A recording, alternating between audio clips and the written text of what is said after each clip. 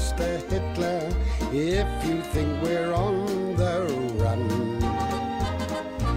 Hi, I'm Alex Sumner, novelist and writer on the occult. Today I would like to review The Magical Battle of Britain, written by Dion Fortune and edited by Gareth Knight. Gareth Knight, incidentally, is one of the great number of highly talented and intelligent magicians to have been trained in the Dion Fortune method. Others include Um. Well, I can't really think of any at the moment. Anyhow, I am giving this book 5 stars. Because this book reveals a fascinating insight into Dion's methods of practical magic. But first, some background.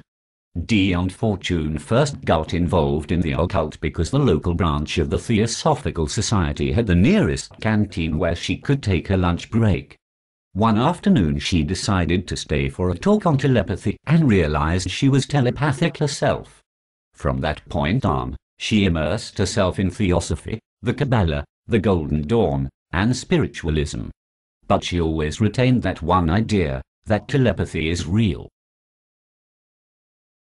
Years later therefore, when war broke out, she came up with the following plan.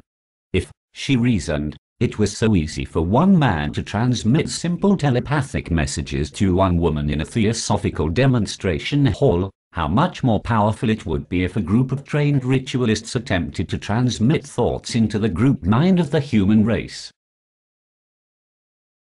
That is what this book is about.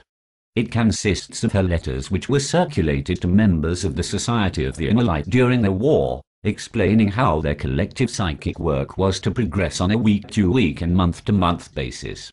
Amongst the letters we discover the following, a practical method of using telepathic magic in conjunction with the Tree of Life, which can theoretically be extended to other workings, how to contact the occult powers which guide the nation, how to invoke angels to guard the country, as well as practical advice for conducting successful ritual.